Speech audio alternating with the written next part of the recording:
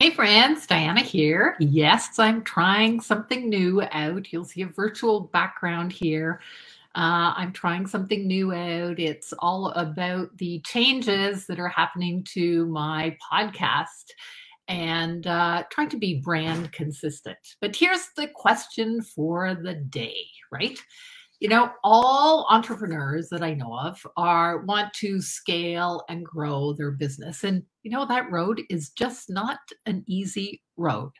So if you're anything like the lawyers or the accountants financial advisors or other experts that i continue to work with i'm sure you want to do everything possible so that you can attract the right kinds of clients and, you know, today I was talking to one of my clients and he found himself doing the proverbial hustle. That's right, doing all the things and still not getting the clients that he wanted. And I went, okay, what is it that he's doing? And so we talked about, you know, there's lots of things that you can do to attract clients, attract the right kinds of clients. You can differentiate yourself out in the marketplace. You can tweak your marketing message. Uh, you can niche down. You can do all those types of things. But really, the one thing you want to keep in mind this principle you want to do less better. That's it. You want to do less better. And so we were talking about what he could do less better. And uh, it really tied into this week's podcast episode, which is about the words that you could be using that could actually be hurting your business growth. And so, if you are writing a lot of content, or could even be sales pages, if you are, you know, talking about your programs and your products, and you're still not getting people to buy into them, or you're getting the wrong people, here's a couple of hints. I'm going to ask you three questions, three yes or no questions. And the first question is Do you listen to each and every word that you say when someone asks you, So what do you do?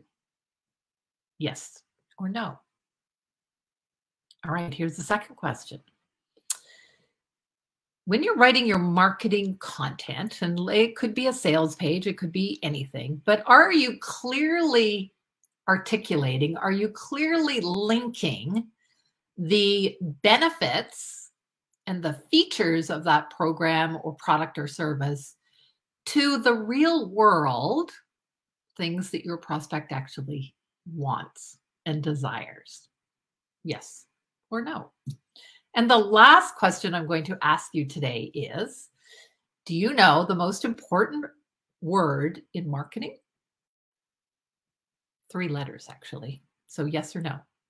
So, if you have answered no to any one of these questions, then I'm guessing you would love this week's podcast episode where I talk about the six itty bitty words that can help your business grow. Instead of detracting from your business, these will actually help you grow your business.